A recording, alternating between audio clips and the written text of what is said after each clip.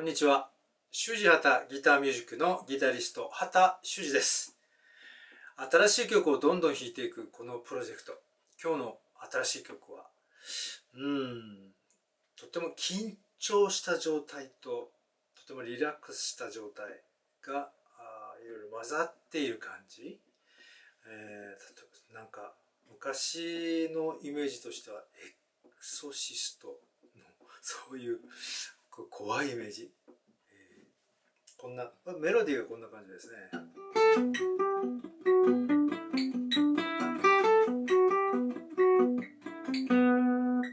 うん。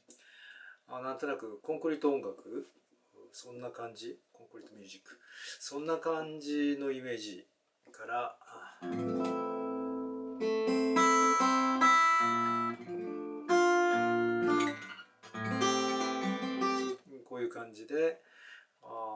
トニックな感じのイメージに入っていく、うん、そしてメジャーコードが続いていく。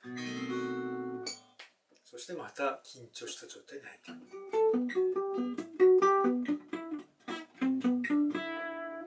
そういう